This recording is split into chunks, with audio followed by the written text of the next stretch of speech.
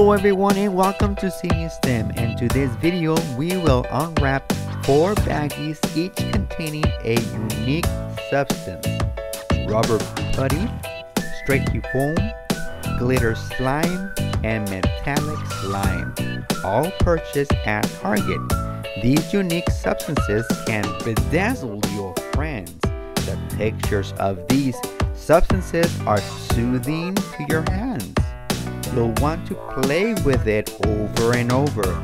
Just be careful not to get it on your hair. So enjoy.